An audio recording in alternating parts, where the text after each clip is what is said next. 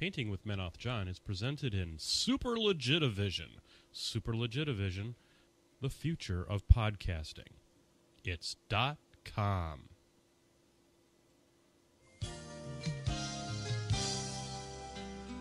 Hello, I'm Menoth John. and I'd like to welcome you. First of all, let me take just a moment to thank you for allowing me back into your homes. If this is your first time with us, let me extend a personal invitation for you to drag out your miniatures. and paint along with us each week. Let's go over to the canvas here and, and let's get started. I believe, I believe, every day's a good day when you paint. I believe, I believe, it'll bring a lot of good thoughts to your heart. I believe, I believe, every day's a good day when you paint. I believe, I believe, it'll bring a lot of good thoughts to your heart. Let's build a happy little cloud. Let's build some happy little trees. There are no limits here. Start out by believing here. You can almost paint with anything. Ah, yes, ladies and gentlemen, all you got to do is practice, and practice make perfect, and perfect is what the goddamn Painting with Menoth John show is. Ladies and gentlemen, welcome to another fun filled and frivolity filled version of your Sunday night addiction. Here we are. God damn it. We're going to get that. We're going to go for the explicit tag right off the get go. I'm so excited that I can't even frickin' believe it. I am at the edge of my seat.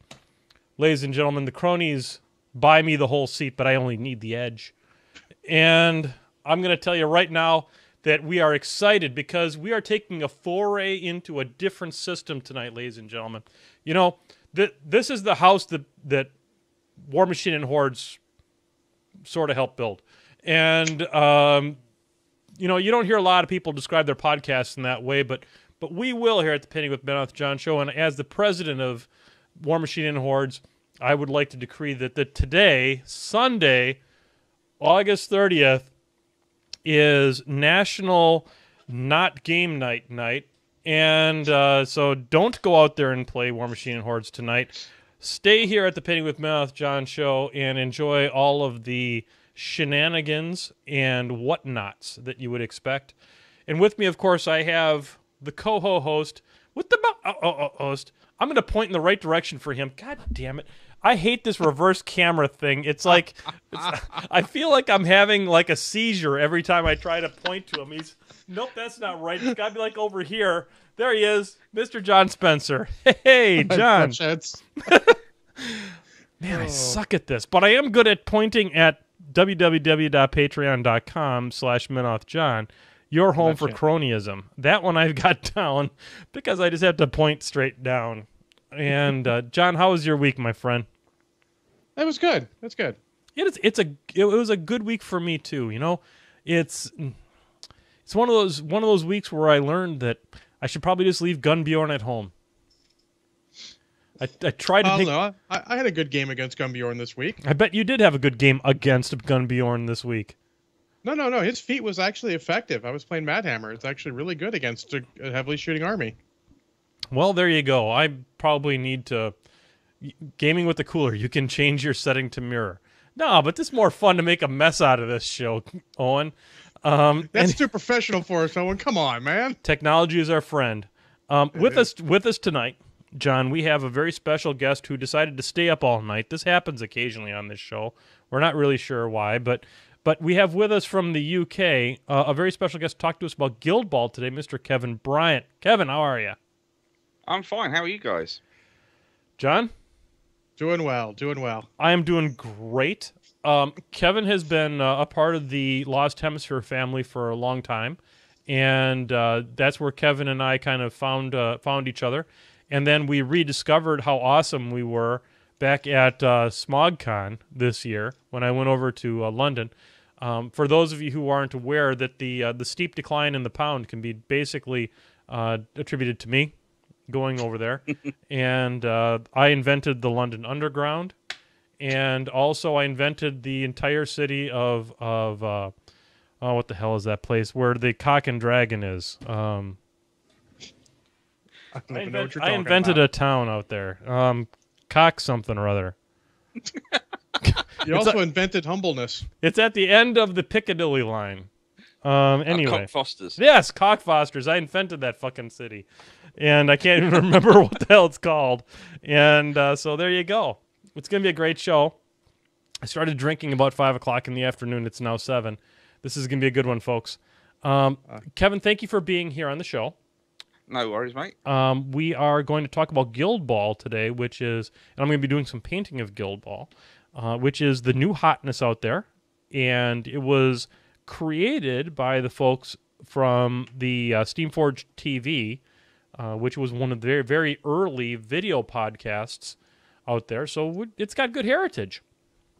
Yeah, I mean the guys um, definitely spent the adequate time they needed to to make sure that the game, the first game that they've released, is as good as they can make it. It's not just um, we'll spend five minutes knocking out some rules and then throwing it out to the masses. They put time and effort and really got a good stable of of um, players that they can uh, work with to test and make sure that they can break it as best as they can internally to make it as as fair and as fun as they can for the community.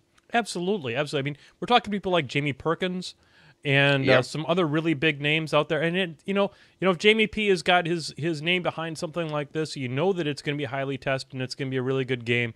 So we're going to talk a lot about Guild Ball today. I'm going to paint some Guild Ball on the show. I've got uh, I've got my engineers here that I put together today. Here's one of them.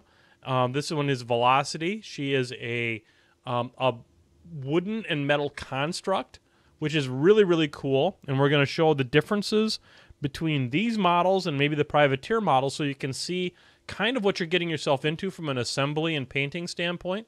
We're going to talk a lot about the rules. Uh, we're going to talk a lot about the community that's growing up around the game. So it's going to be a really exciting episode. Oh, sweet. So before we get into that, though, we have some shit we got to take care of. God damn it! Um, first off, we're going to talk about a beverage update. Um, I am having um, what's left of a Pumpkin King here in my Adepticon 2012 glass, uh, the, and uh, it is a pumpkin flavored ale that the uh, the boys from the Beer Machine podcast. Brushheads, if you're not listening to Beer Machine, you should be. Uh, they are a, a wonderful podcast from the uh, Buffalo, New York meta. And um, there's an episode out there with me on it, and I remember some of it. And uh, I'm also not to be played out aloud near small children or uh, people that get offended. fact. Um, we do bring up sex toys and putting stuff in your bum. So there you go. And then I also have some Kraken. What about you, John? Uh, I have a shot of crack, and I have something that, uh, according to the internet, is called a Thousand Suns, which is Dr. Pepper mixed with uh, Fireball. So we've got spices. It's very, very tasty. I bet you it's actually really, really good. I mean, you've got the cinnamon and the spices working together with you on that, Mm-hmm. and it probably walks up and just kicks you straight in the liver. So there you go. Um, what about what about you, Kevin?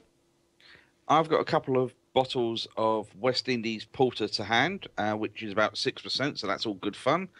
And I've got um, a bottle of Maltese honey liqueur um, as well. Oh, the, you see these? We only bring the best people here on Painting with Menoth John. It's none of this goddamn Miller Genuine Draft bullshit. We don't have time for that nonsense. So, on behalf of Painting with Menoth John and uh, to everyone in our European listening base, which is we, we love you guys. Hey, hey, Ron. Ron. Ron.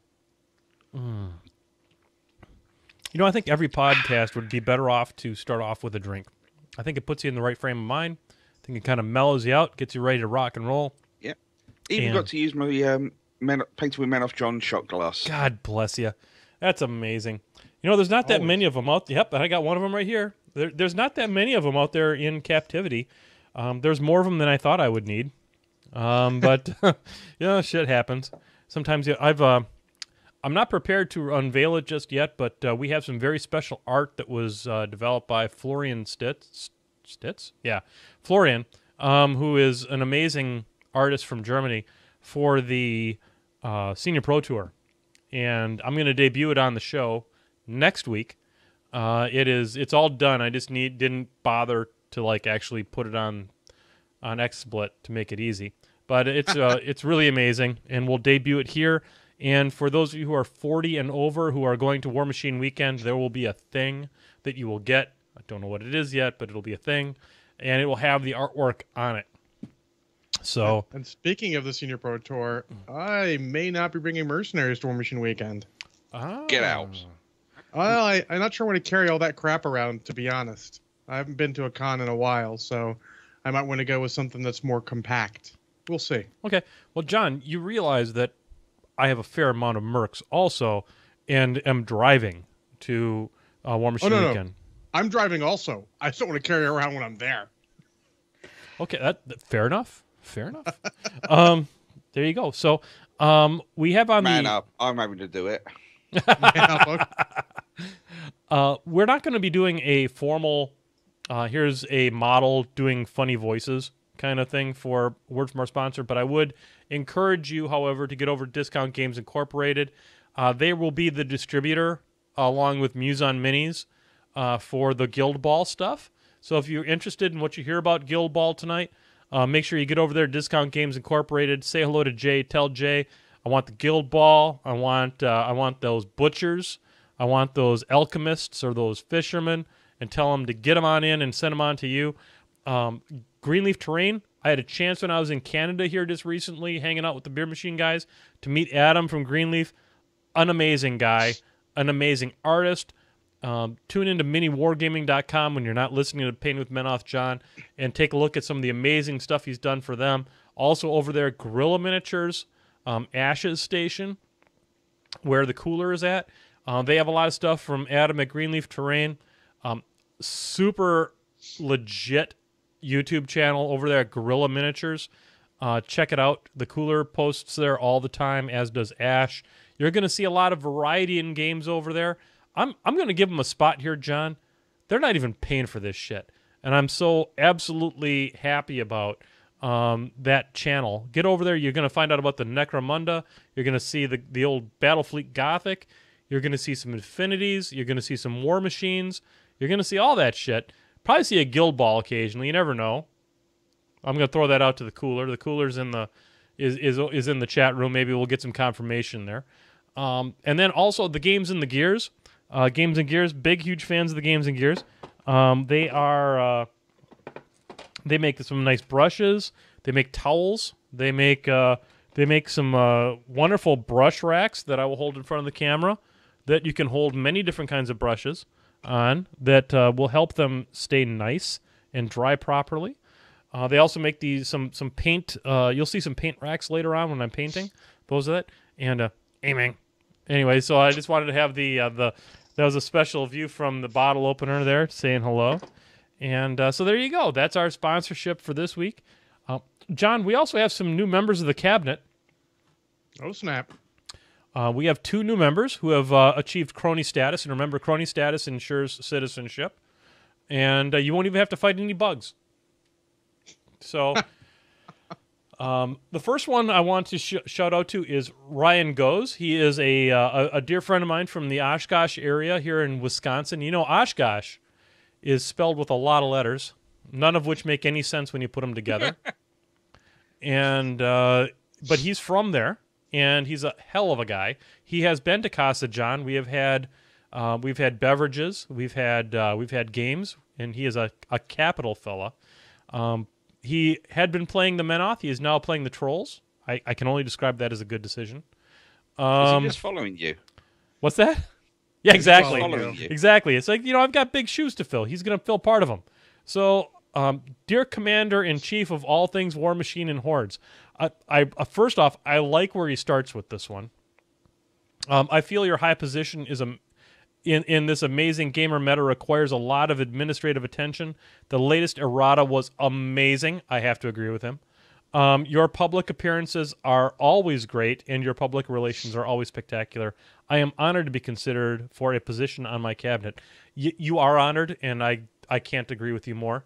Um, I would like to apply for the opening of Secretary of Great Times. We don't, John. We don't have one of those yet. We no, we don't. Surprisingly, we should. And- it should be like the first thing filled or second. Well, here we got one now. Every time with John is a good time, isn't it? Hello. Look, I'm even As wearing long as the he keeps his shirt on. Oh, I'm keeping it on. I'm, I'm holding it for the camera right now. There you go. Um, so I feel like this position would be best filled by someone who can always have a great time doing whatever it is that they're doing.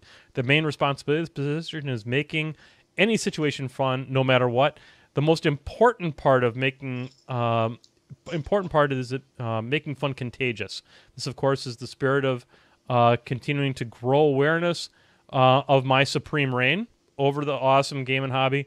Um, of the many things you have taught me about this game, I feel uh, this is the most important paradigm of the game. That is having fun. So um, I couldn't agree with you more. He goes on to tell me that uh, um, that he thinks that I'm incredibly handsome and that I have um, a wonderful taste in everything. So uh, there you go, um, uh, ladies and gentlemen. On behalf of the Painting with Menoth John Entertainment Empire, ladies and gentlemen, Ryan goes, our new Secretary of Great Times. Hey, hey, Ron. Ron. Ron. Run.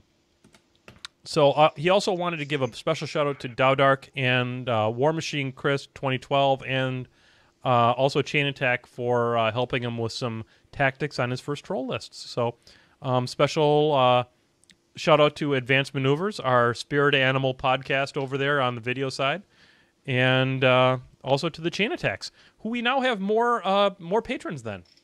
Were you aware of that, John? I was actually. I love that part, but I'm not gonna. I'm not gonna gloat. Uh, anyway, they also have the dojo. Let's not forget that. Um, uh, and then this next one, ladies and gentlemen, there's a very special person out there in the meta that uh, she she is she is reluctant to pledge her full fealty to the Painting with Menoth John show, but she is now part of the cabinet, ladies and gentlemen. Ladies and gentlemen, Miss Sarah Jane Chu. Uh, you may know her from the uh, cross pollination between the Beer Machine podcast and our podcast. She was the uh, the person who won the Irish, excuse me, Scottish Masters. Oh boy, I made a mistake there. Uh, Scottish Masters uh, painting competition. Um, so this is from her. Hey, that's how she started the email. Hey, uh, no one would expect different. I would like to apply for the position of curator and archdomina of souls and mortithurgy. Mortithurgy. We here at the S&M department know that everyone is useful, especially after death. I will ensure that we will preserve the memory and maintain the soul health of the brushheads. We will also make sure that every Titan and Basilisk, every Archidon and Cyclops, even each and every Aradus are whipped to their maximum efficiency. I will ensure the Haksuna code is maintained to the highest standard and that the honor of painting with Menoth John Cast remains strong. Get in, bitches. We're going to Ios. so, if you haven't seen the artwork associated with Get In, bitches, we're going to Ios. Um, it's over at the Beer Machine Podcast Facebook page. Get over there and look at it. Miss Sarah Jane Chu, she can paint, but fuck, she can't draw. Uh, it's got it's got that sort of fourth grade charm to it that we all look for in, in good art. I mean, the best MS Paint is the bad MS Paint. But um, everybody out there, to especially Miss Sarah Jane Chu, our uh, our roller derbying, bass playing, um, bit of awesome. Oh God, what do you? What do you just saw the picture. Yeah, it's pretty amazing, isn't it? Get in, bitches. We're going to Ios. I don't even have the words. Nope. Kevin, if you have, you you should feel free to dial in your, at your computer and take a look at that. Oh my. Um, M- Me, me computers are uh, just at a acquaintance level. If I if I move off Skype to look at stuff, I'm Okay. I'm gonna break things. We So don't I'm- want I'm that. Staying clear. We don't want that. So, um, by the way, I wanted to summarize all official decrees so far. Um, salt is the new co- condiment. All tomatoes will be served with salt and tomato, salt and pepper. And Diz was the hot one. That was the one we couldn't remember, John. Diz was the hot Oh, yeah. one. Well, yeah. Yeah. Uh, So there you go. All right. So that takes care of the cabinet for painting with mouth. Christ, I'm burping every three seconds. Um. Anyway, so there we have it. We're now we're going to get over to the um our featured topic. I'm going to go ahead and put up the painting cam, and I'm Oh, going to start painting some of this stuff while we talk about Guild Ball.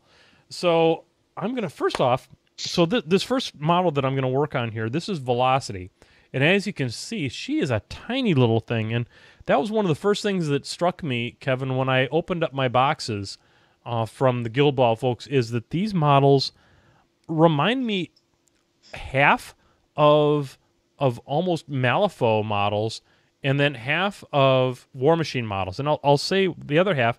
I'll put up the the other fella here. This is very much uh, almost like a War Machine model in its thickness and stuff like that. Kevin, Yeah. Um, um, the the proportions of the models um, are definitely not heroic scale, for lack of a better word. Yeah, 28 mil Mhm. heroic, but they also do give you a good natural idea of their roles. So if you have someone like um, um, Colossus in your in your um, engineers, or if you had Rage, or if you had um, half the half of the butchers guys where they are big they are butch they are yeah um solid you know that they are they can take a good hit and also can dish it out. The ones that are more petite or slight or um such as velocity you can tell that they um being on the front line like that is not where they're best suited. They are to to get round the flanks uh, behind the lines ready to receive that ball to try and score so straight away, just on the on the silhouette, it gives you a good idea of what their their role should be. so is that is that universal amongst the different factions that you can you can see sort of that that kind of a theme presenting itself from model to model to model? Very much so. Um, they they it it does just give you a good um, indicator straight away. You sort of look at that model, go. Can I have a look at uh, yeah? Can I have a look at their uh, card? Yeah, to see how dodgy they are or how yeah. Because straight away you're going, okay, they look like they are more likely to be a runner or a passer or yeah that kind of role, or they look like they're gonna punch me in the face. How far away can they? How far can they reach? So straight away you can look at that, get a good idea to look at the right part of the card to get the right information. So one of the things I'm doing here is I was a little bit unsure of how I wanted to paint these. Now, in the in the engineers, this particular model, this velocity model, is a wooden construct with metallic gears and things like that. So what I'm doing here is I'm taking some some PP brown ink and I mixed it with some Agrax Earthshade from Citadel, and there was I, I have to tell you, Kevin, a civil war almost broke out on my brush because they're just not used to being mixed together like that. And uh, I thought that since she was wooden, this might give a good place to start, so to speak.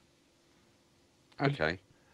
Um, I, I'm not a great uh, painter of wooden stuff, so I'm not sure how much advice I can. I'll just make shit that. up. We, we, we, you know, here at Painting with Menoth, John, we just make shit up all the time. And Oh, in uh, that case, in, I'd go for like some um, more, uh, almost like a light leather sh- uh, paint, and then use an ink to get into all the cracks afterwards. yeah, see, that would getting, be my. That's a good. That's a good thing. We we like to get into the cracks eventually. Um, so Mm-hmm. let's uh, let's talk a little bit about the game. Uh, the you know one of the things that you, we talked about a little bit in the pre-ramble available to uh, to cronies by joining at patreon.com slash john was that this is a you told me that it's a skirmish you shouldn't necessarily think of it as a sports game No, it is. It's definitely not a sports board game that uses models, such as um, a large majority of similar games are. It is very much more a skirmish miniature game with the uh, background and the setting of a sports environment. It, yeah, it, they sound like they should be the same, but it is very, very different. Um, because in in Guild Ball, uh, you've got no grids. That uh, it is more like a game of War Machine where you can move a model any direction you want, or can go. I'm going to go four inches this way, and then I'm going to turn and go two inches this you know, in a different direction. You've got the complete freedom to do that. and from reading the rules as long as you're moving in straight lines which is something that as a war machine player i should be very familiar with you can basically use your movement to move however you bloody well please Exactly. Um, this um, unlike War Machine, this game it's all open measurements beforehand. So Oh, uh, you you can make beforehand go right. Am I in range? Yeah, sort of where do I have to get to to be in range of the goal? Or um, so you have got that freedom as well. There's no um, get down to guesswork or using best best judgment. It's you know to make sure everyone's got a even even chance rather than one person that spent 20 years guessing their iron and knows what 13 and a half inches on a table looks like it is you can measure that and see how it goes yeah. See, that's something I didn't Im- immediately kind of jump out to me when I was reading the rules was that it was pre-measurement, and uh, that's a, that's a very big difference between, let's say, War Machine and this particular game. What are some other key differences do you think, or key similarities in your mind, Kevin, between this game and War Machine? right if we go for the uh, key similarities first off um, this this game uh, the movement will be very similar to um, a lot of War Machine players because yeah if you uh, at, at the start of the turn you allocate out uh, what is called influence. Each player generates so much influence Mhm. which you have then as a pool very similar to your focus. You can then at the start of the turn you divvy out the influence how you like. Different players can take so much of that for um, they've got um, a maximum they can take. That gives you your options of what you're going to do. Everything in the game other than your base movement costs resource. If you want to charge it's going to cost you. If you're going to run it's going to cost you. If you're going to hit someone it's going to cost you. If you want to pass the ball anything like that will cost. So your resource management is very similar to your war machine focus um, allocation. Um, on the other side of it, as the turn progresses, you uh, generate what's called momentum. This is where, if you're doing stuff that your guild should be doing it anyway, uh, you'll be you'll you'll be awarded this. This you can use more reactively, uh, almost like your fury in, in hordes. So this will give you your chance to counterattack if someone hits you, give you a chance to pass uh, to score a goal, to um, defend yourself if someone charges you, to um, when you when you catch the ball to to make a quick dodge further away to heal your players. So that gives you your reactive side of things, and also if at the end of your turn you've still got some momentum. You add that to your dice roll for the next turn of who goes first. So you can go I'm not going to spend this. I'm just going to make sure that if I go first next turn, I can score and win the game. I'm just going to generate as much momentum as I can and try and almost ignore the dice roll in that sense. Okay, so I've I've got up here, Kevin. I've got a card for folks to kind of follow along with. We've got Which, which one? I've got um Ballista, Okay. who's my It's leader. just because I'm on Skype, I can't see your your camera, so I'll, I'll just go along. I'll look at uh, the. So I've got the rule book here. Yep, and I'm trying as like hell to try and get these things to actually be. There we go. Now I've actually figured out which of my goddamn controls is for focus, and now I can actually focus it in. Here we go. All right, so I'm going to talk a little bit. I'll ask some questions here as we go along, and maybe we can help educate some folks on what this is all about. Maybe you can answer, answer some questions. Okay. That I uh, have. Just before we just before we go any further, Yeah. um, just to go on the other side of things, you were asking me what the differences are. Yeah. the main key difference uh, between War Machine and Guild Ball is its alternate activations. So Oh. people that have played Malifaux will, will already have a leg up on that. So I act I activate one player, do this. You then activate a player, and so when you're out, dishing out your influence, you can almost um, pre-warn your opponent if you're not too subtle what you're going to be doing. If you go right, I'm going to give eight or eight focus uh, uh, influence, sorry, to um, my captain here. It's like okay, so he's going to go in and do something completely nasty in a second, right? Move away from him. Okay. So in so like let's uh, let's say I have ballista, I've got salvo, and I've got velocity. I'm gonna have ballista go, and then one of his models is gonna go. Then Yep. salvo is gonna go. Now, at what point do I? Well, I'm I'm getting ahead of myself. I'm getting ahead of myself. Um, so that that's back and forth there, and I, I remember that from I had some Malifaux models at one point during their first edition version, and it Mhm. made my brain hurt real hard. But um, this is so this is that kind of game too. So that's really good information. So it's what I thought. Just yeah, I mean that is a big difference, and it took me probably three or four games just to really get my head in on that because I I I touched Malifaux, but I haven't really played it that much. So for me, it was still a bit of a an alien concept. But you soon get your head around it because each on the table, each team has got six players. You've got your captain, your mascot, and four others of your choice. All the characters are all the players are characters, so there's no grunts. They don't have any points cost because at the moment they um, Matt and Rich and the and the guys behind them are play testing everything enough that theoretically there is you don't need points cost as long as you have a team of six. That's it. If you go for all bruisers, fine. That means you're not going to do much in a way of scoring, but yeah, so the other player goes, I'm going to keep out your range, I'm going to pass the ball, I'm going to try and score the goal, score goals, because you can win in one of, um, well, the way you win the game is that it's the first person to 12 points. Mm-hmm. You get four points for a goal, so if you score three goals, you win. Ke- Kevin, you Kevin, real quickly before we go into the scoring. Yeah. Um. So you mentioned that there are s- how many players per team? Six. Six. Now, if I you mentioned that you're you like to play the Union, which is Yeah. like the mercenaries of Guild Ball.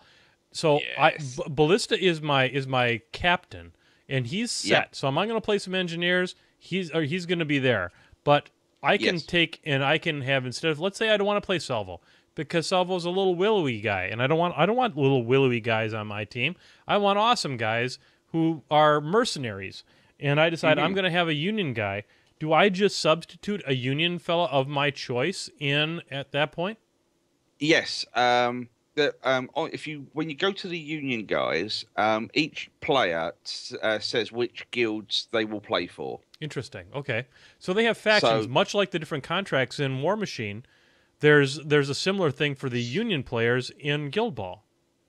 Yeah. So um, if you- if you for me when I play union because I have because they are the union, I have a, a the captain Blackheart. I have their mascot coin, and then I can pick from any of the union because they're my faction. Sure, makes sense. But for, for for yourself, you would be limited to which of the union guys um, have made contact with your guild and set up deals with.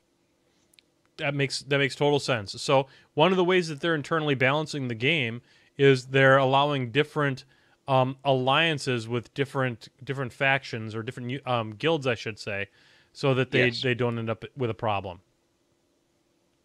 Excellent. Yeah. So now you were saying we you play there, and I noticed in the rules there are different levels of games, and one of them is sort of the beginner game, which is the the battle box sort of game, which is these Yeah. these three models.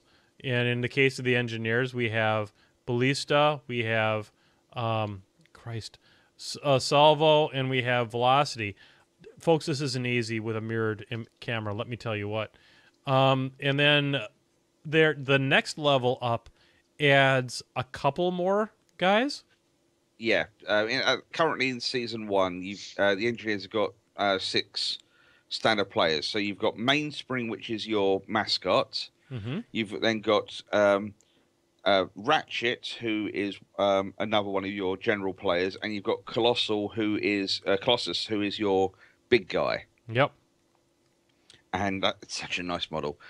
Um, yeah, so that's that's what you've got. But um, very shortly, season two um, models will start appearing. We've seen some concept arts dotted uh, coming out on the on the social media, so I pro- probably won't be long before those models start appearing in, in the real world, and, and we get to play play those.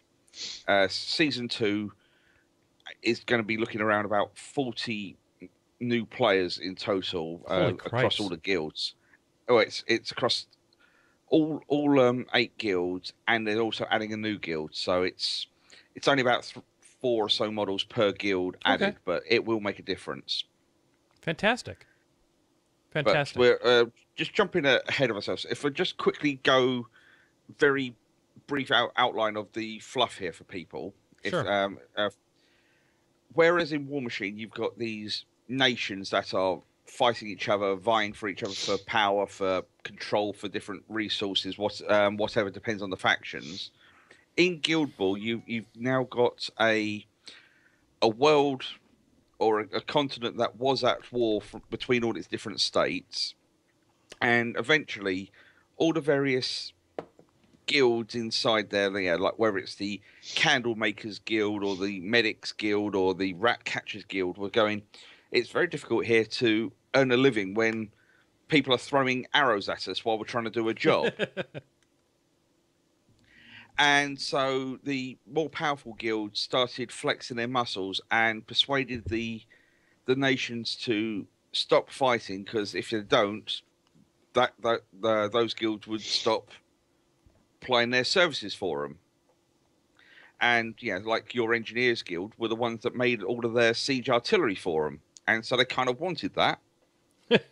so then um, this became then a a time of peace, and then so the uh, rather than the the sort of the countries in this in this continent fighting each other, it then becomes more more political of the guilds trying to get more uh, one-upmanship and getting the favors from different people going ah who's going to um, supply the main course for uh, this king's um, feast. Oh it's the butchers rather than the uh, the fish uh, the fishermen's guild. Oh the butchers have got the respect here. And so rather than them coming to blows they've noticed that the local communities were playing this this this medieval football because it is um, they have based it off um, off that which was a, a real game in in um, back in in his in history. Uh, the guild started going, oh okay, well if this if this team wins, we get the contract. If that team wins, they get the contract. But then behind the scenes, they're going, we'll train you and give you some food so you're stronger and ready for the game, and we'll give you these players. And before you knew it, proper teams that represented the guilds came about, and then the the, the locals started enjoying watching it rather than getting their teeth kicked in. Go figure. And that's a very very broad outline of the of the fluff of the world. There's a lot more to it. Um, Sherwin, who um, I know is is actually listening to this drivel. Um, he he's he's the main writer for this. He's he uh, sort of I know you've you've played a game with him, John. So he's a great guy. and He's written a lot of this fluff, and it is good stuff. Yeah, I mean, I read I read a good chunk of it today. I read the the initial beginning of it, and I am excited to to continue to read it. I I only had like an hour to sit down and and and read some of it. And Sherwin, I think he did a, a wonderful job mm-hmm. creating a universe around what is ostensibly a game. And you know you've got the this football style game, and but yet you've done a wonderful job of pulling together these these different factions and these different flavors associated with it in this greater world. And I think that's that's very admirable. You did a wonderful job. So good job, and we'll talk a little bit more, Sherwin, probably on the down low about uh, about the the fluff and things like that. And and brushheads, if this proves to be something that you're interested in with the guild ball, um, Sherwin has mentioned that he would like to come on, and I think you know to have the Doug Seacat, if you will, of of Guild Ball on is is a wonderful thing, and uh, and Sherwin is a man of of of, of good humor and uh, excellent excellent excellent personage, and we would love to have him on the show. So Um, uh, the other thing, yeah, sort of, yeah. Uh, the other thing I was going to say is, if you are interested, uh, yes, I have the the rule book because I, I I back the Kickstarter, but you can download the rules, including all the fluff, everything, for free off the Guild Ball site. yes, and that's So you don't even have to. That's how I Don't even have enjoy it, be out of Kevin. And and I so much wish that I had backed the Kickstarter on this because I would love to have the the hard copy book.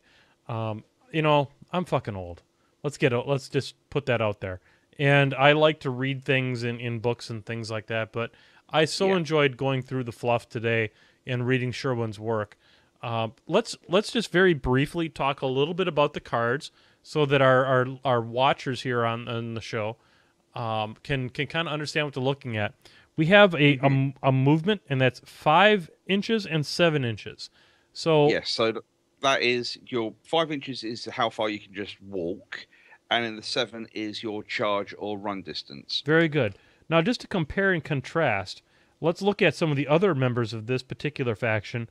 He's kind of a slow guy. The other ones are six eight on that. So it seems like is Kevin is that two, is it two inches for the difference between walk and charge? Is that common or does that vary? Um, that is, it's normally about two to three inches is the is the standard difference between how far someone can run to walk. So that's that is fairly standard. But the real real speed demons have other abilities on top of that that can mean they can get from A to B um, if they if those two points are 14 to 16 inches apart. Amazing. So the the combos kind of build much in the same way we're we're used to seeing Warmachine and Hordes combos build. Yes, definitely. Excellent. Now let's talk about this is tech. What is this one Yeah. about? Tack is your um, is uh, it's your uh, your tactical ability, basically how good you can fight. Okay. And this, unlike um, uh, Warmachine, they wanted to keep the um, the stages of calculation as minimal as possible. And in um, if you compare Warmachine, where you go right, I'm going to roll these two dice, add those up. I'm then going to add my mat or rat to that. That's another process. I'm now going to compare it to your defense. That's what another process. I'm now going to roll two dice and add the power of my weapon. That's another couple of processes there. I'm now going to deduct from your armor to how much damage. That's another process. What they do here is, oh, in this case, I've got tax, uh, tactical score of six. I roll six dice. And the next, um, if we just uh, bypass kick for a second here and go to the, the stat after that, which is defense, Yep. what that is is for every dice that I roll equal or is greater than the defense of that model, that's a hit. So let's say the defense on let's say in a weird air a, a weird universe, Ballista is attacking Salvo. He has attack Yeah. of six. He is going to hit on a four plus. On each of those dice, he'd roll six dice, and for each one that comes up a four plus equals a hit. Very good. And Okay, so I understand that now. So it's as simple it's as simple as that. Um, and that comes more into it when we look at the playbook later on. We'll talk about that. Absolutely. Yeah. So now let's talk Uh, about go ahead go ahead, Kevin, continue. Yeah, just just going just going back then to the kick stat. Okay. on ballista it's four uh was it it's four six Four six. so first number is how many dice you roll and the second di- uh, number is how far he can kick the ball so Okay. when he's passing it or going for the goal anytime he does that he rolls four dice and he can kick it up to six inches away Oh, so this is an interesting point here because I'm I've got I've got all three of my factions cards here in, with me, and I'm looking at velocity. Velocity is a four eight. So Yeah. as you mentioned, velocity is more of your scorer type of a model, and so Yeah. velocity is able to kick it in from eight inches, whereas Salvo and Ballista are more of a six inch model. Got it. Yeah, and also the fact that they're rolling four dice is huge because to score a goal if you're going for a goal you only need one successful hit and to score a hit it's a four plus. No matter what against a goal when you're scoring a, a kick when you're kicking a goal it's a four plus success. There's a there's a few things which can um, change the um, the target number, but uh, as a as a broad stroke um, comment now, it's a four plus to score for a goal. excellent. I understand much better Uh, now. so so rolling four dice and needing one of those to be a four plus, pretty good going. So that um, you can already start seeing that the engineers are more about the accuracy and possibly trying to go for the goals and winning that way rather than just beating people into the into red mist. Excellent, excellent. I can see that from from just the way you've you've explained these different statistics. Now let's let's talk a little bit. Now we're we've you've explained the defense number. Let's talk about armor. Now, how does the now Ballista? He's an armor one, wh- whereas Yes. Velocity is an armor zero. How does this work out? This is uh, again nice and simple. So, say um, in a weird world, Ballista was attacking himself. I can. that's not that weird. I just did a, po- a an entire podcast where we talked about ovipositors, and that is like attacking yourself. So let's. very much, very So- much so. Right. So, if he's attacking himself, he would be rolling six dice, and for each of those that's a three plus is a hit. So he rolls. Uh, so just going for pure um, statistics here. So out of six dice, four of those are, um, come up as a three or more. That's a hit. Yep. Then for each point of armor you have, you discard one dice that hits. Okay. It's as it's as straightforward as that. Okay. And then the remaining um the arm the, the remaining, remaining hits then do they go against the damage tracker that's on the bottom of the card?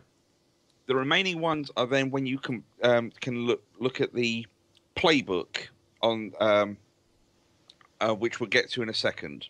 So we'll just go to his final um, Yeah, go stat, ahead. which is his his influence, Okay. which is four six, Yes. which means he brings four influence to the team, Mhm. but he could be given up to six. Okay, so this is like an allocation number that's 6. Yes, or a maximum allocation number. Okay. And as we look at the rest of my engineers, you can see that um, because he's the commander, I guess that makes sense. He's the he has brings the most amount of influence. He can get six.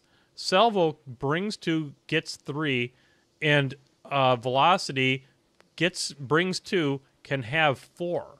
So Yeah. there you go. That I see that. So Velocity is a pretty darn good character when you get right down to it. He's got the high defense. He brings he can kick it from a long way. Velocity's a good guy to have on your team.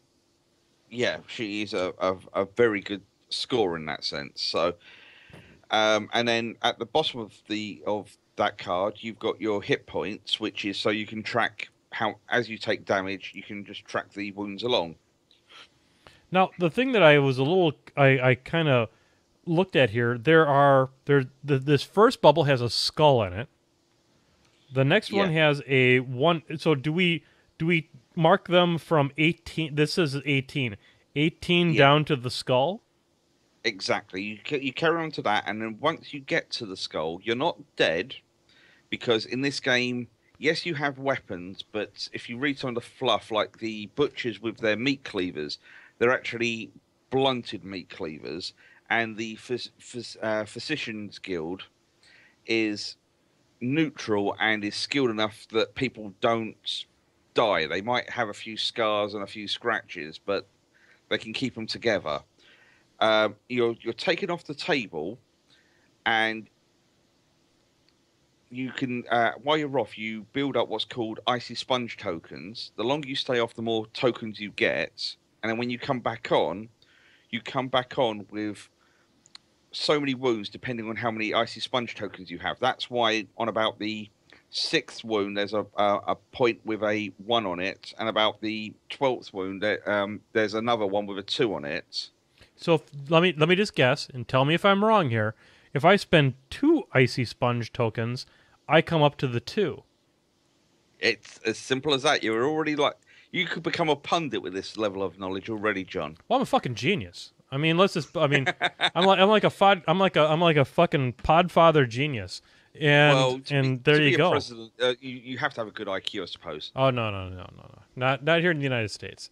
Yeah, a president can be anything a- and anyone, but uh, in, as president of Warmachine Hordes, I'm going to show my superior intellect by knowing the two icy sponges take me to the two. So I think it's more of a of a testament to the excellent game design of the Guild Ball designers to make these icons make so much sense. Now, as But I look as I look through these but- other ones, yeah. they're all the same. They have the they have the um, the skull, the one, and the two. The other thing to remember though, with uh, this is where the uh, you've got that trade off because if you're off for one turn, uh, so say you die this turn, when it comes to the next turn round, you automatically have one icy sponge then, you can spend it there and then. You've only come on with six wounds, but if you if you stay off the table for another turn, you come back with a lot more wounds. So it's how that risk reward of how soon you need them back on the table to how healed they are. It's like a it's like a press your luck mechanic almost embedded Exactly. in in a in a in a miniatures game, which is, as far as I know, John. And tell me if I'm wrong here. I don't know of another another miniatures game that uses a mechanic like this. Usually, when you lose your your health like that, you're just gonzo. Uh, I haven't seen it with health, but I've seen it with other things. Okay. and and when you're off the table, your resource of your influence isn't available. So Ooh, again, if if no while he's bueno. off, you haven't got that four influence that your captain generates to dish out to your team. So again, um, that that's where the, the the some of the tactics and the depth come into it. And it seems like the influence is. It seems like there's quite a wide variety of activities that ha- that use influence to make happen. What are the what Yeah. are the the different things that you spend influence to make happen, and and how much do they kind of cost? I mean, you mentioned passing the ball even costs influence. Yeah. Uh, so just a quick over the over the main key points here. Like I said, basic walking costs you nothing. Okay. to to run or to punch someone costs you one influence each, Okay.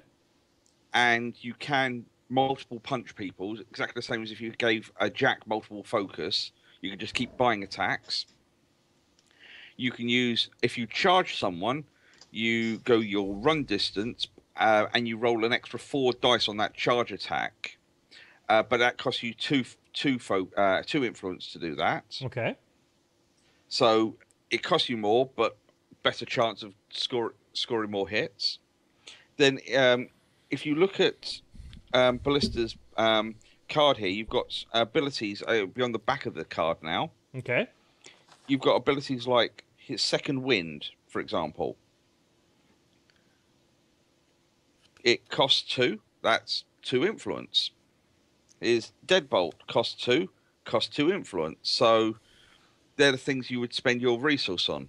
Is this what they call the playbook? Uh, not the playbook itself. It's more the character plays. Okay, got it. And if you want to pass the ball to it, um, to another player, it costs one influence to pass the ball. Got it. So, like I said, pretty much anything you do in the game costs you a resource. So, you uh, it's it suddenly if you if you um, lose that, a key player like a captain that generates a lot of influence for the team, it can have a big effect the next turn of crap. Can I do anything? Uh, or not? Can I do anything? Can I do enough across your whole team, or do I give what I've got to just a couple of players and the others aren't going to be doing much this turn? So, in many respects, you're planning the your activations of your models. In each of the different models is you're almost doing a warcaster level planning session on each one of the different models.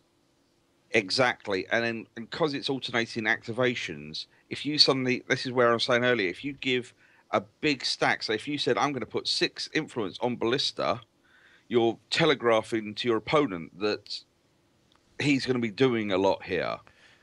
That makes sense. And you're because it's an alternating activation type game, you are assigning those influence at the very beginning of your turn, right? Yep. Ah, I see. I see. Right, and now we can now we come to the bit that's I've never seen this in any system that I've played, and this is the playbook Okay. uh, at the top of the card at the back there. Okay, hang on. I'm going to bring it up. I'm going to bring up Ballista's card here again. Okay, so this is in character traits. Um, it's on the back of the card where you've got all the playbook with all the different Oh, okay. dots. Oh, I got it. Yeah, you know earlier I said um, just if um, I was saying if Ballista faced Ballista, he's he's gone in, he's done, he's rolled his six dice, he's got th- um, four hits, and then he's taken one hit away because of the armor, so he's got he's he's made three hits. If you look at the playbook now, you can um, they are there's six columns there. You can choose any result up to then the third column because you've done three hits. All right, I'm, I'm a little bit confused here. So I'm looking at the back of the card, and there Mhm. are two rows of icons. Okay. Yes. Um, And choose. there are actually and one, that- two, three, four, five, six, seven, eight columns across there. Yeah, but um, the the last two are shaded in. He's only got six um, six rows, which I've actually got things Stuff, filled in there. it. Got it. Got it. I'm following you. Yeah. So, in in that example of, of getting three hits, you can choose anything from the first three rows of of results. So you might go, I'll do one point of damage, or I do a tackle if he's if the if he's attacking someone that's got the ball and try and s- get the ball off them. He can try and dodge away. He can try and knock the model down. Um, and this is where you get the tactical options of what you want to do. Okay. I'm a, I'm I'm I'm trying to follow you here, Kev. So Yeah. um on the top it has a number one, and then it Yeah. has below that it says T. Yes, right. Um, the one you only choose one of these from any of those. So in if he, if out the three columns, he's got basically five different options there because the the the second uh, row's only got one bit filled in. Okay. All right.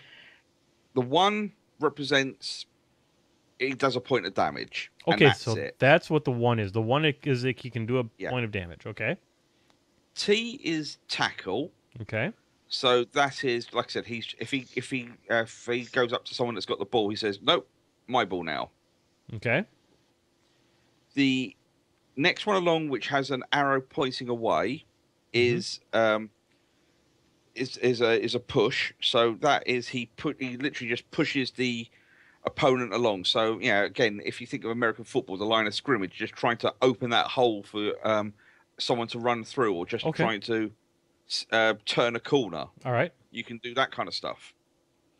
On the third column there, you've got KD, which is knockdown. Mm-hmm. and then the next one is he pushes someone twice because each push is an inch. Okay. So So, th- that one he, he can push him two inches. Made sense. Makes sense. And the melee range on many of these models is one inch. Yes. Okay. Um, if if you notice, some of those are coloured red, which is or, or which is the engineer's colour. Mm-hmm. And if you choose any of those plays, that's where you generate the momentum. So this is if you're doing what that guild is meant to do, you can that you generate the momentum. So if you went to the butchers, a lot of their mo- momentous plays are damage because Okay. that's what the butchers like to do.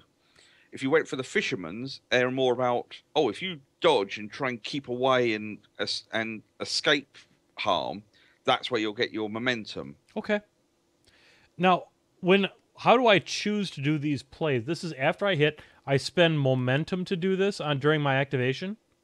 No, this is a case of, um, oh, I've got three hits on you. I choose any of those plays in the first three um, three rows. Oh, You okay. just pick. So that's and based that's- that's based on the tack dice versus the defense di- defense numbers. Yes. Um, so obviously, the more hits you get, the more options in the playbook you have. Ah, I see. So the more hits you do, the more options and the more nastiness you can deal out at that point. Yeah, because some, some players, um, like if you if you look at um, Velocity's card, for Okay, example, I'll bring I'll bring that up here. Okay. she does very little damage. Yeah, in she fact, is one. pri- she's primarily all about tackling the ball and dodging and pu- and pushing um, stuff out of the way. So she just doesn't want to be in the fight. She just wants to get the ball and get the hell out of there.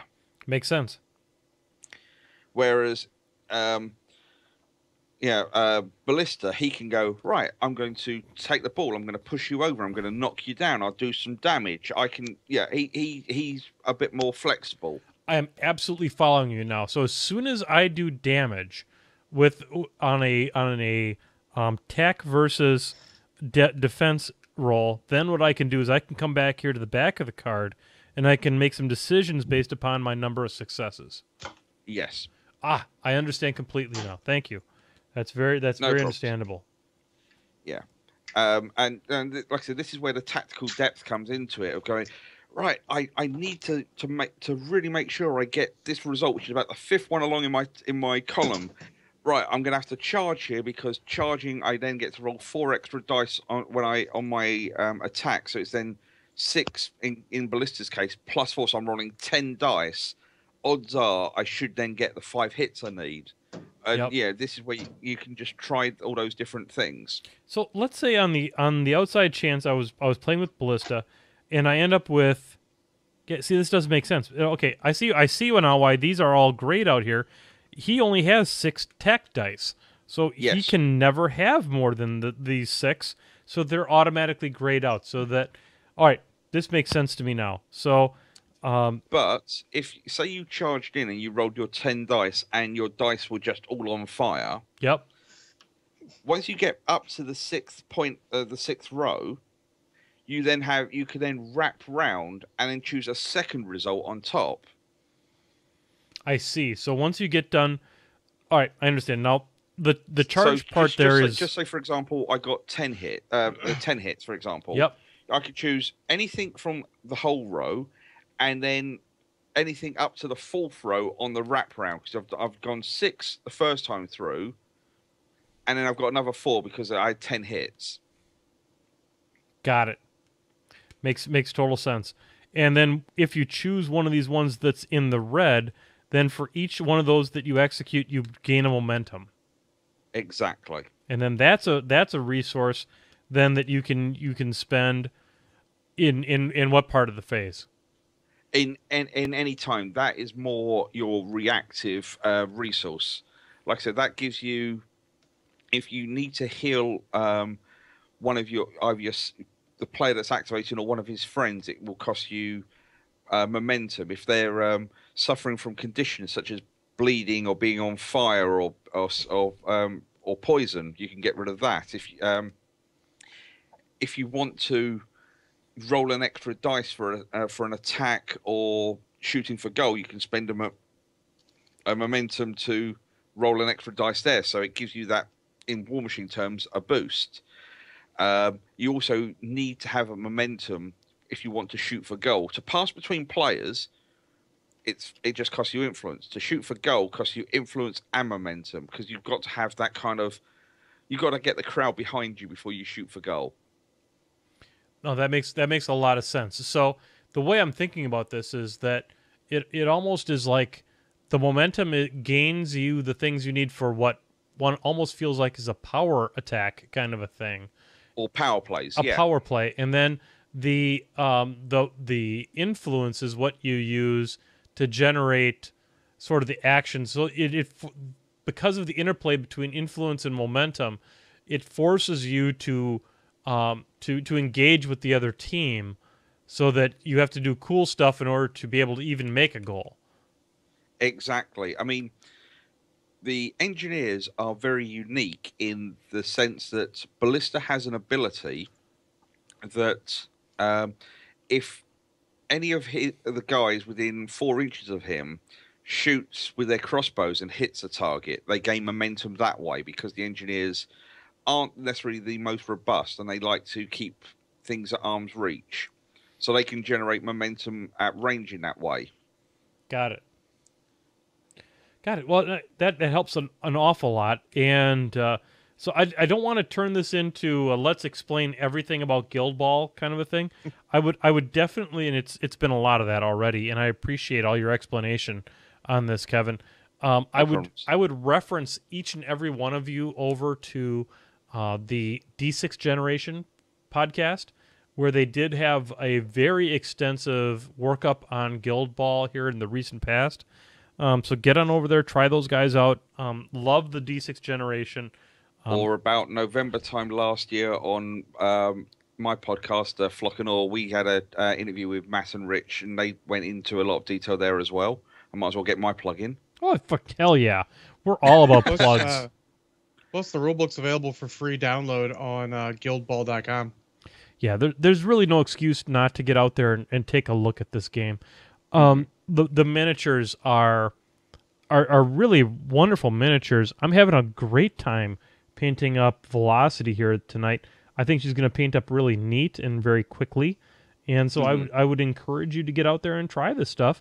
Um, let's do some questions, John. Let's do a little bit of uh hang on, I gotta get the Kraken out because this is goddamn painting with Menoth, John, for fuck's sake. Well, while you're getting the Kraken out, I will say because it took me a couple of games to get my head around it. Compared to other sport-based games that I've played in the past, do not expect to go. Oh, I can form this cage and grind out the table for three turns and and then score.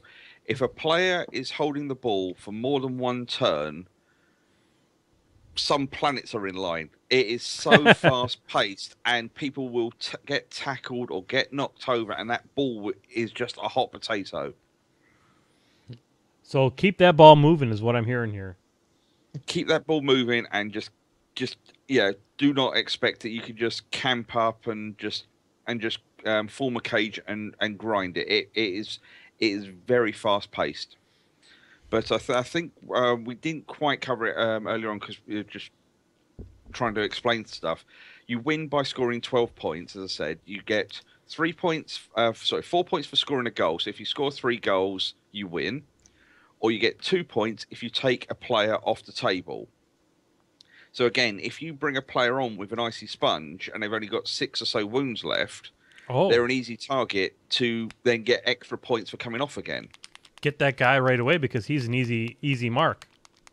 potentially, and you can win. So you get like the fishermen, for example. They're the most extreme for passing and running and trying to score quick, and you've got the butchers at the other end, which really like to just turn you into um, some some chops for Mrs. Smith down the road.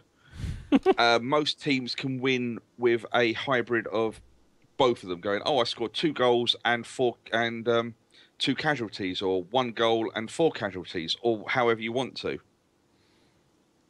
Well, I think that's a sign of a of a strong game that gives you options on how you want to play it and how you want to how you want to win.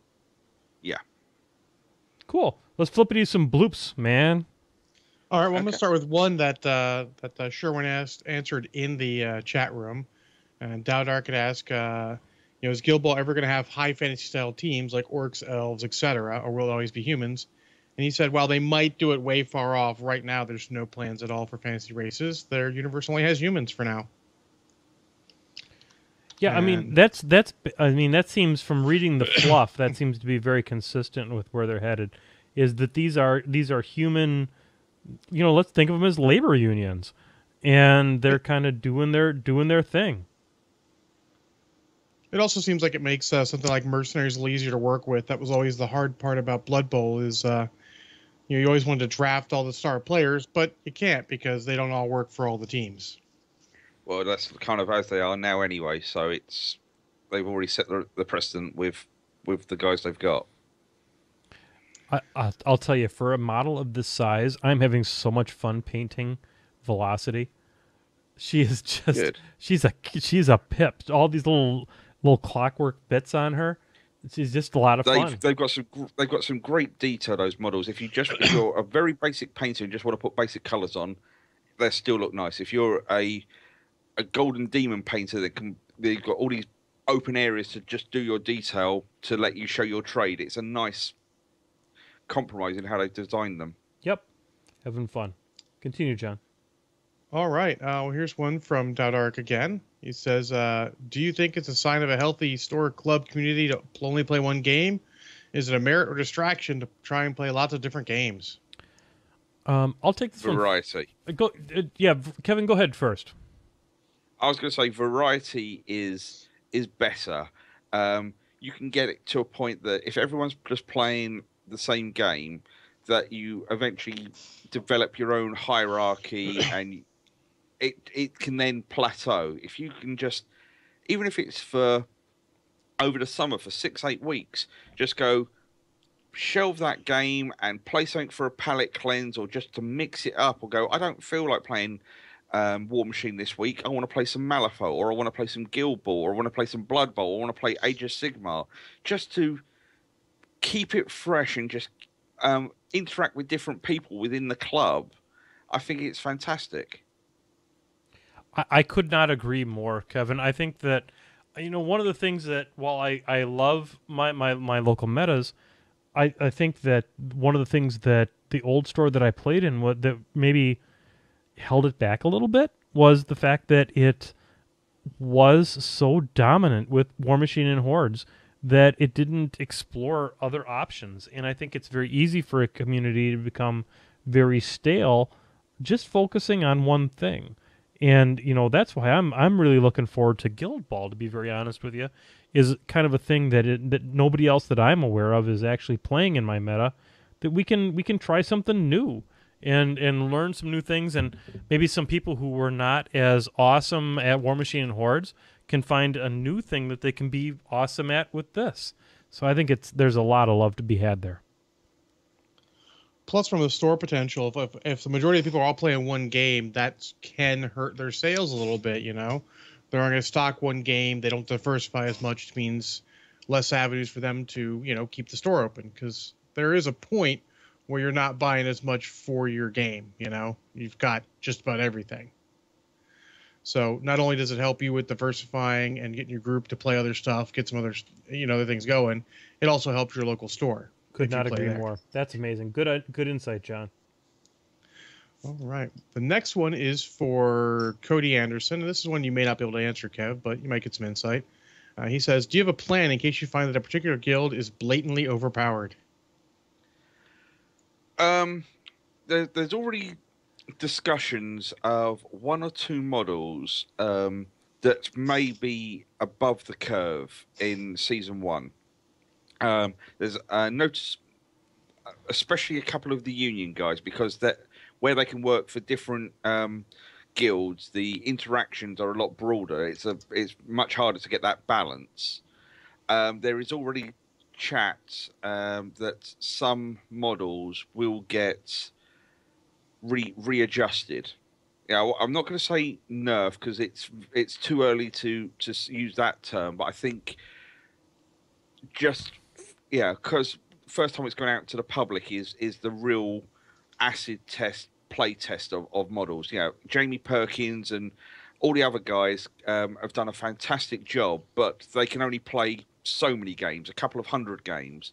Getting out to the public where they get several thousand games just um, amplifies all of that. So I think a few models will just get tweaked, whether it's an ability gets once a turn rather than just, or however they want to do it. I think there is definitely something bubbling in the background. So I mean, it, and you know, this is Steamforged's first game, and I think that if we're only talking about a couple of models that may have not have been maybe as as tremendously balanced as others, that uh, that that that's actually a really good good sign. I mean, I mean, we all remember from back in Warmachine and Hordes there were there were you know lots of models that maybe were not as as perfectly balanced as others that uh, they they took care of in Mark II, and this is a game at least it, it, at the surface appears that they're looking at things from a season standpoint. And while they're, I don't, bel one of the things they talked about, Kevin, and you can probably address this, is they talked about obsoleting models in this game. What do you know about that? It's not obsoleting models, but in um, in this fluff, um, models will die. Um, I'm not going to uh, spoil anything more than that. Uh, that one of their Sherwin's favorite authors is the guy that wrote um, uh, the um, the uh, Throne. So, uh, sort of having players that George? having yeah having players that only survive a season isn't going to be uh, uncommon but you can still play with them and also a bit like war machine certain players will evolve so you'll get epics or whatever they want to call it as players oh they suffer this injury and they change position or they become the captain or Oh. they're um, quite lowly in the ranks and they get promoted as, as the seasons progress so there is development there but what they might do come season three or four, they might go right for this event. You can only play players that are still alive. You could you could quite happily do that. So in in much the same, I'm trying to think. I'm trying to draw a parallel, almost like the um, uh, Flames of War models, where they have late war, early war, mid war kind of models. Um, something similar could happen where, okay, we're going to have velocity, but now we're going to have velocity um, early game or something like that. I don't know what the what the equivalent of it would be, but that's Yeah, one way well, of of declaring that a certain version of a model is going to be it- valid. this it, this isn't in the fluff that I know of, but say Salvo in the fluff gets his arm ripped off, hmm um, then you'd have Salvo two, who because he's he's missing an arm now, he can't shoot with both of his crossbows. His role in the team might change to be a kicker, um, or he might be a goal, um, sort of more protecting the goal or something like that, or he has a different weapon, and so um, his his yeah, both options are viable for your team selection when you go to play. They just might play differently in the on the on the table. Makes total sense. God, I'm having fun painting this model. I have to I have to be honest. It's I it- can't wait to see this all on YouTube because I can't, I can't see the, the paint job at the moment. Uh, well, it's it's not a great paint job, but I'm just enjoying it so much. Is that you know here is a model that I've never painted anything like it before. It's a clockwork wooden model, and I'm just saying, you know, I think this would look neat with a little bit of a red tone over here. I'm I'm getting my uh, I'm getting my Bob Ross on right now. I have to tell you, uh, I'm just I'm I'm seeing happy little trees over here on this guy, and uh, I'm just having the best time. And uh, and just we're we're talking here about something new, a game I haven't even played yet, and I'm so enjoying painting the models with it. And I think that the brush heads need to give this a little look see, because I think you'll have a similar time good time painting models like this. So um, excellent excellent stuff here, guys. Um, what's the next flippity bloop we got, John? Uh, well, uh, Guild Magister Sherwin asks, uh, is Menoth John going to play as the Engineers Guild or the Brewers Guild? I, I own both. Um, I, I picked two. I picked out two factions because I wanted to be able. My my uh, oldest boy Jacob said he would be interested in learning how to play this with me, so um, I got Brewers and I got um, the the Engineers. So I'm going I'm going both ways, and uh, I now own everything for the Brewers and everything for the Engineers, and uh, I'm gonna be making them up here. But man, I'm having so much fun with Velocity. Um, I wish there were more. I mean, she's kind of unique. She's the only one of her kind, I believe, in the faction that is this clockwork kind of a thing. I mean, Colossus is a little bit. You've got you've also got your mascot, um, who's Mm. a construct like that. So Yep. um, he's very similar. And as you said, Colossus, he's he's going to be very similar with all those wooden beams and the and the gears. Yeah, the wooden beams are super fun. I'm having just a ball here, and I noticed a little. It's also bit, their way of trying to show they're different to just the standard steampunk, rather than having these iron girders and steam engines. It's kind of we've got wooden beams and pulleys. Yep. And and you know I'm really looking forward to this is um the ballista model, and I've done a little bit of the zenithal uh, shading on it. I'm not really good at that yet. I'm working on it as a technique. Um, I I just ordered some uh, some airbrush primers. I'm going to experiment with that a little bit more. But I'm really looking forward to doing these cloaks and capes and stuff like that um, that have a gear embossment on them. And I'm just looking forward to painting these things up. And uh, I'm thinking my buddy Adam from Milwaukee might be interested in, in uh, trying some of this stuff too. So I got a couple of them here. Um, Sherwin, I am interested in the engineers. I'm interested in the brewers, but I will I will be I'll be absolutely um, honest when I say that that the game itself interests me. It's a it's a different thing. Uh, I'm a little bit a little passe on the on the Warmachine and Hordes right now, and this is a way for me to try something different. Maybe it'll it'll it'll like be a clean a, uh, a palate cleanser, if you will. Yeah, So super, and and I'm enthused with how much progress I was able to make on my little uh, velocity model here, and I'm going to get some more some more washes on her here, and uh, you know I'm not going to spend a billion years on these models. I'm going to spend a I'm, little. I'm really I'm really happy that you you've enjoyed that so much because I've got a demo. Um, but butchers and masons team for for demo games. I've got my union and my alchemist all painted up, and then just because he owed me a favour, and I know he, he listens to this anyway. I've got a friend of mine, uh, my painting monkey, who owes, who's painting up my uh, morticians. So hopefully this might be the nudge he needs to finish them. Oh, they're they're good fun. I tell you what, they're they're brilliant models to to, to goof around with here, and I, I feel like I'm I'm having a good time with them, and they're I'm, I can ex- I feel like I can experiment with them a little bit and not feel like you know I'm gonna be oh my god I'm not a golden demon or I'm I'm not gonna I'm not gonna be this you know if I want if I make a couple of mistakes I'm gonna feel okay about it and it, and just Yeah. have some fun with it. So Russ did a good job creating those models. ah, they're beautiful, beautiful models. So delicate. This one is so delicate, but um, I'm feeling like as I as I paint more and more of it, see what I'm going to do here after I get done putting these washes on here. I'm going to give them a good, nice dry, and then I'm going to come back with a little bit of dry brush on them. The other I- thing you need to Mm. do at some point is create your own goal, which is on a 50 mil base. Ah, yes, and and I understand a lot of people are doing like um, uh, like posts or pillars or things like that. Yeah, anything to represent their guild. You can do. You, it's up to your own happy imagination. Ah, I'm gonna have some fun with that. I'm gonna pick out something that that just screams engineer, and I'm gonna tell you what, it is going to be chemical engineering because that is what I am. I am a chemical engineer. So we're gonna get all happy and shit with some stainless and do some tanks and something like that because I think For- engineers yeah. would be all about the tanks and the pipes, maybe some little valves and things like that. I I'm gonna I'm gonna let my imagination fly with that. I think that is some excellent advice. For for my union team, I did. Um, I got a, a Magnus two model, the one where he's standing on top of that wrecked jack, Mm-hmm. and then from his 30 mil base, I put it on a 40 mil base, and then put it on a 50 mil base, and then painted him gold so he looked like a uh, like, and um, put a bit of green in in the nooks and crannies, so it looked like a yes, uh, like an old brass statue. Nice. Um, and I thought, I'm sorry. I go thought ahead. because he's because he's the head of the yeah, sort of from the Mercs in Warmachine to the Union in Guild Ball. I thought it was just a nice little um, transition for my for my goalpost. That's really cool. And you know, for those of you who are looking for a cheaty way to do that kind of a of a patina effect, this is the Nikolite oxide from Citadel. I am a uh, or yeah, um, Nikolai sounds like a sounds like Russian.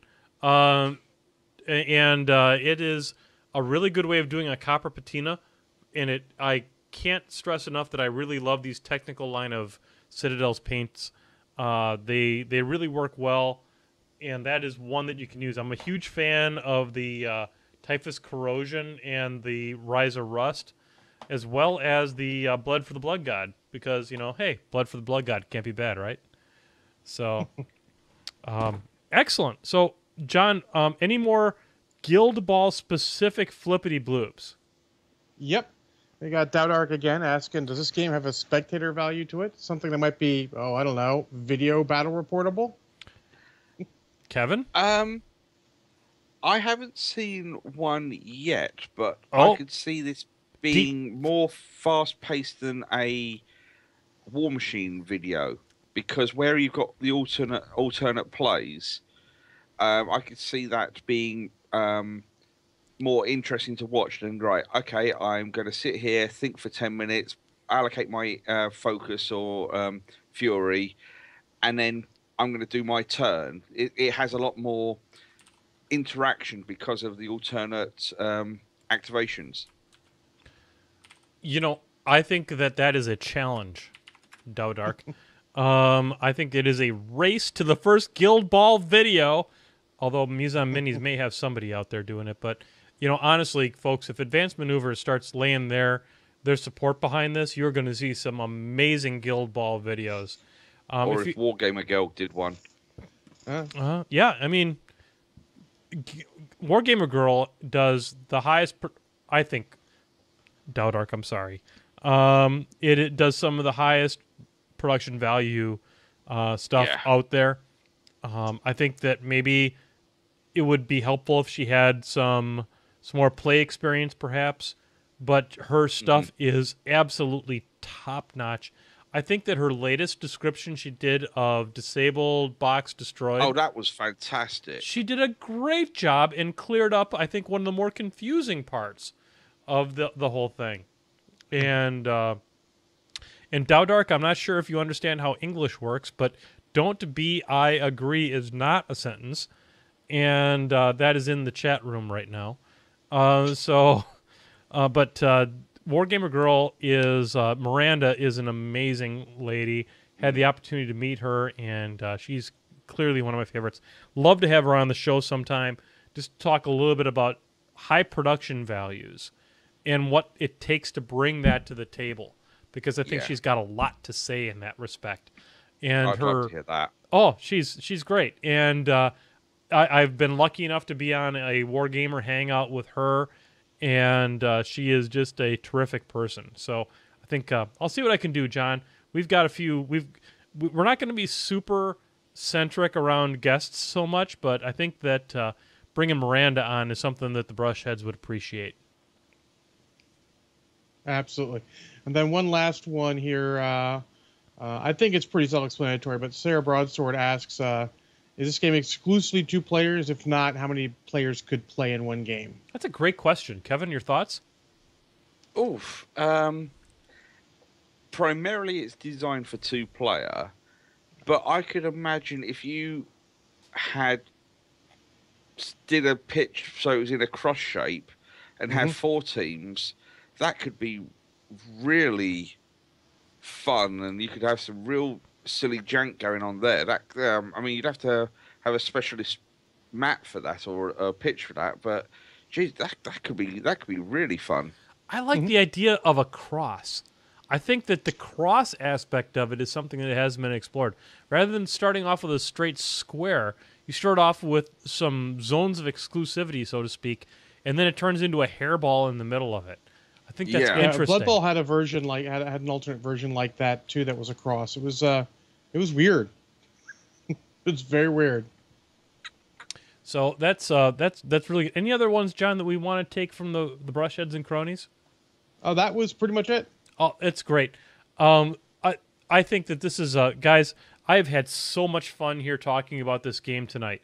Um, I, I I think that I'm going to come back on the painting cam here real quick, just to kind of show you where, in the small amount of time that I have spent painting on on velocity here, I am really happy with where she is now. My next steps on this particular model is I am going to take these browns with a lighter brown and I'm just going to very, very, very lightly dry brush her a little bit to try to bring out the, the, the grain in, in this model. And I, I don't know that it necessarily you can see it very well on the camera right now, but the amount of effort that Steamforged Games has put into bringing a lot of detail into these very small models is is amazing. And I'm going to try and dry, dry brush this up.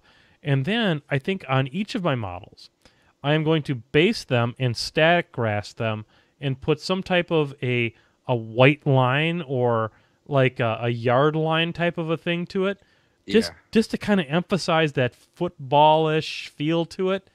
I've seen a few people that have done that. It does look really good when you when it's done right. And I probably won't do it right, but I'll do the best I can. That I can promise That's all you. that, that's all that matters. Yeah, we're gonna give her one hell of a shot. I tell you that. And you know, this is my first Guild Ball faction. We're gonna give it a try and see how it turns out. But I'm very Kevin. Thank you so much for being a part of the show here tonight to explain to No us this wonderful game.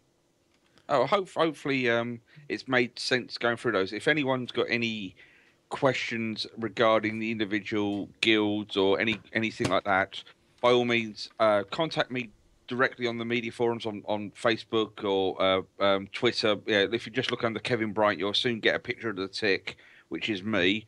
or um, the, the Guild Ball forum or the Muse on Minis forum all have a Guild Ball section. So ask away, and there'll be people that will be willing to help you. Yep, this is the new hotness, folks. We're excited about this. Um, we are. Uh, we do want to talk a, a little bit of media. So, hey, hey, Ron, Right? John, I don't feel like I've drank enough on tonight's show. Probably should drink more in the future. Absolutely. Um, so I want to talk a little bit about the 1976 version of King Kong. For some reason, right, hit it. Nice recent kind of film. you know, nothing sells says nothing sells Segway like Painting with Menoth John, and um, I'll tell you, there has never been a more ham-fisted attempt at demonizing oil companies than the 1976 version of King Kong. So, for those of you playing along at home who remember the original 1930s version of King Kong, essentially the the plot is dude finds an actress, maybe a hooker, along named Fay Wray, who um, he decides he's going to put in, in a movie ostensibly to try and get laid, and brings her to, and she agrees to go on a ship for some reason because CNN doesn't exist yet, and she hasn't figured out what this is all about, and ends up getting kidnapped by a large monkey, which is a euphemism for something. And uh, in 1976, they decided, well, we haven't had a King Kong movie ostensibly since King Kong versus Godzilla, which is a hell of a movie, which we'll get to some point. Um, and uh, th- this is an interesting movie because it really it's it's Dino De Laurentiis who what at, at the sign of quality. at the time was a thing, and uh, we had uh, Jessica Lange, who had was just discovered, who was a young lady in her early twenties, um, as far as her ID said, and uh, we had a a young Jeff Bridges, we had a Charles Grodin, who was just as good an actor as you remember him to be, and it was the most over the top presentation by an actor named Charles Grodin ever.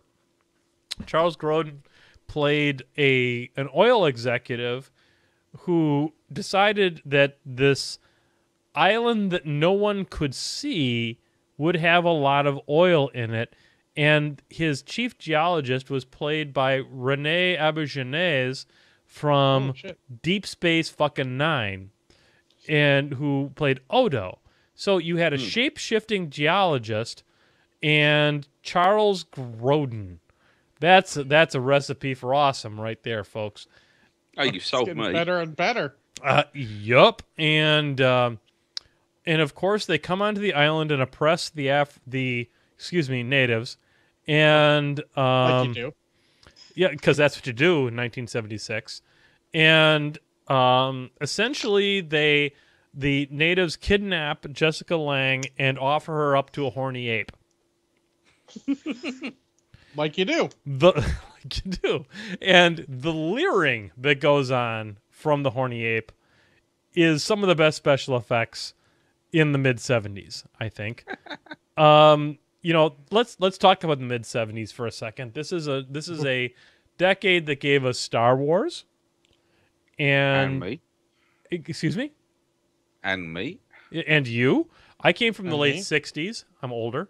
Um, you're not a special effect, Kevin, as far as I know. Um, and it also gave us 2001, A Space Odyssey. Not bad. Could be could could be worse. Um, there are examples of movies who are not puppets. And this is a big puppet hand coming in and groping Jessica Lange over and over and over. God, this sounds awesome. Um, I'm sold. yeah, so the 1976 version of King Kong, just remember, folks, there's a version by uh, Peter Jackson from the 2000s. I don't do this often. I'm grabbing the mic and getting really close. Watch I can that. watch it for free on Amazon Prime. Watch Add that shit to watch list. Watch that Peter Jackson version. I'm telling you, stay away from the Christ, 1970. Stay away from the 76 version. I watched it with my son. I was embarrassed that I actually watched it with my son. Um, I sent him out. Okay, there's one scene worth watching, and it's where Jessica Lange gets her top taken off by King Kong's finger. Uh, okay. I'm just gonna leave it like that. Um, she's got a nice pair of hoo hoos, but um, so that's it's worth watching it for Jessica Lange's hoo hoos and not a whole lot more. Oh, Um, that's a sterling endorsement. The, the although I have to tell you the the characterization of Petrox, which was the ostensibly the the petroleum company in the movie, pretty stereotypical. So if you're looking for an idea of 1970s stereotype versus the hippie. Here you go. 1976's King Kong. John, did you? I'm going to give it um, three shots of Kraken. This is a Only three. I was sounding like Nah. a four where you were describing it. no. It's you want Did you take one off for the hoo hoos? Oh, they're nice. It's, it's world class yabos right there, ladies and gentlemen. I disagree, um, Captain Aaron. Uh, the 1939 version is not worse. No, he does not straight up strip Fay Wray. Um, he does. There is more dinosaurs in that version, which makes it better. That's true. So, um, you got anything? Yes, the dude was in the movie anyway, and the dude abides the monkey. So there you go. Uh, John, do you have any movies for us this week? Well, luckily this week I only watched one complete movie, uh, and that was after setting up some TV stuff today. I watched a little gem uh, put out uh, by WWE Productions, so you know Oh, it's Christ. good, Shut the fuck up. starring John Cena. oh. Oh, yeah, Sass- Sassy Greyjoy just perked up. Well, currently, I, I'm I'm more inclined to watch the uh, King Kong movie based on this. But carry on. uh, it, it wasn't the Marine. It was actually his second outing uh, called 12 Rounds, which I will describe as take a little bit of speed, and I mean the movie, not speed, Oh, okay. I was just and like, a little bit of Die Hard with a Vengeance. Mix that shit together, take the parts out, and there you have a movie. was John like- C- was John Cena Like literally, in it? there are points you're like, this is gonna be that same thing out of speed. Bam, same thing out of speed, uh, and then the rest of it's just the plot, the basic plot from Die Hard with a Vengeance. I, So were they? did they need to keep the plane going above 50 miles an hour? no, no, no, no, no, no, no, no. There's no plane above 50 miles an hour, but there's a couple scenes where you're like, that that's from Speed. You can tell. Excellent. Uh, I, I don't want to spoil it because, despite all that, it, it it's a decent time. It was it was three bucks on Blu-ray, and I cannot complain with three bucks for Blu-ray ever. No, no. Um, I don't know if I'd watch it again by myself, but that's one I'd pop in with the guys and just have as a background movie. Um, it's not even a standard action movie. There's not a lot of gunplay or anything. It's it. It's like Die Hard with a Vengeance, but they really, really, really wanted to take the gunplay and shit out. There's Makes a lot sense. of explosions where no one really gets hurt, or maybe one person gets hurt. Um, almost no gunplay. It's, somehow they took that movie and they made it. I don't want to say dull, but not exciting. You're like, okay, I, I kind of want to see where this is going, but I'm not like excited. Adrenaline's not pumping. And for WWE Productions and John Cena, that seems like a sin. Seems like you've missed the point. Yes. I mean, I will give a shout out. They did use Ashley Scott, who's uh, a, a fine looking actress, as his girlfriend, but she doesn't get a lot of screenplay either, though she does get to do a couple amusing things, like hit the bad guy in the nuts with a fire extinguisher. That's always a bonus. hmm Whoa, whoa, whoa! You never go for the for the lads. Sorry. Oh, well, I mean, I want to come back to deserved it. London. This, this guy was a bit of a dick, so he deserved it. I so want to come Um, back to the UK. By the way, Jesus Christ, I miss London. So it was an amusing movie. Don't go out of your way. I, I'm going to give it uh, three shots of Kraken, too. So Wow. it might be a coin flip between this and and And King Kong. and King Kong. Yeah. Wow. And, and That's some endorsement Arion shit right says, there. Die Hard without a vengeance. And that's kind of the thing. It is Die Hard without a vengeance. It's it like this sounds horrible, but they wasted John Cena in that movie, and he's not exactly a great actor. No. So Like uh, I feel like this would have been a great Jason Statham movie. Oh, Because Jason Statham doesn't need gunplay. Jason Statham Ah, has more charisma. He can Yeah. do more the actiony type stuff, you know, chasing a guy down on foot, you know, on top of a streetcar trying to do stuff. He's more interesting in that. Yeah. Okay. For a second, I thought you were just saying he was worse than uh, John Cena, but okay, No, you no, no. explained that well. I love me some Jason Statham. I will watch Oh, just about me any too. movie with Jason Statham yeah, he's great. because uh, the charisma he's he's got Yeah. it. John Cena, and, and this is gonna sound strange, but I feel like John Cena could headline a movie, but he needs the right role. So At the very least, he's better than Howie Long. fact. Um, so Chaplain Aaron, um, just mentioning here, I am doing a painting uh, exchange with him, and I'm working. He sent me a model that he modified. It is a whelp. It is a it Uh-oh. is a troll whelp, and it's got a fro, and it's carrying an Olympic torch. And he told me to indulge myself. this won't end well. I'm just putting it out there. He's given me way too much design space and way If too it's much got a fertile. fro, Are you going to put a beard on it and make it um, a Bob Ross uh, whelp? Oh, I hadn't thought of that. Um, yes, yes, he's going to be a Bob Ross whelp. um, he's carrying a torch like it's um, is that a torch or is that a brush? That's a fucking brush. Holy shit, that's a brush. now. oh my god, he made me Bob Ross whelp. Oh, oh, thank you. I almost did this wrong. Okay, I'm on it. This is gonna be amazing. Okie dokie. Now I know what I'm doing. So we'll we'll There you go. It's Well- the it's the painting with Menoth John Epiphany. we will pick up with that another time. There you go. I've paid Uh, paid for my wage. You totally paid for your wage, and also uh, John Snodgrass thanks you. So, um, hey, we're at the end of the damn show. Yes, we are. Uh, Kevin, I can't thank you enough for coming on the show. I am ex- Anytime, sir. I'm Anytime. so excited to get my engineers out on the table. And uh, Adam Ball, I'm looking at you. We are going to get these on the table soon. He's coming up on Tuesday. We're going to play some Warmachine and Hordes. Maybe we're going to play some Guild Ball. And uh, it's uh, Brushheads. I can't encourage you enough to get over to guildball.com and check the game out. Get over there, download the rules, check it out. I think it's got some wonderful miniatures. Literally, they have they they have factions for everybody. If if there's if you like the Cryx, maybe you'll like the under the, what what are they called? Um, the Kevin Oh, the spooks. Oh, the uh, um the morticians. the Morticians. Maybe you'll like them. If you play the Khador, maybe you'll like the Butchers.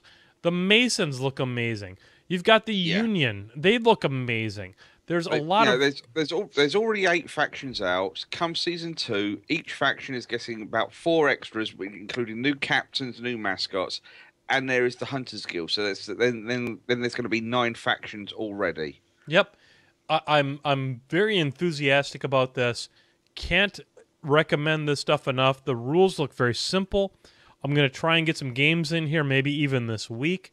Um, my friend Adam is coming up on Tuesday. I I was should. There's no reason why I can't have my Brewers put together uh, in time for him to be here, and uh, we're gonna give it a try. And maybe we'll record some of these early games and have some fun with it.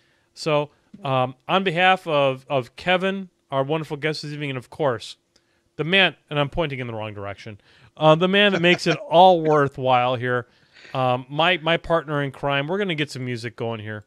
I'm going to get the old. Ah, there it is. That's the music that makes it all worthwhile. It's the end music of Painting with Menoth John. We take that shit seriously from you, Bob Ross. You are our spirit animal. Um, we'll be back here next week.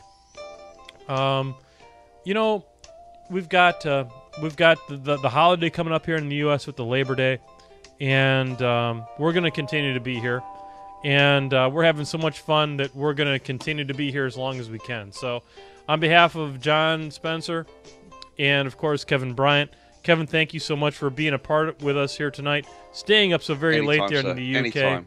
And uh, Sherwin, thank you so much for taking part in the chat room. On behalf of the whole Painting with Menoth John team, this is Menoth John. Stay sweet, and we'll see you next week. God bless.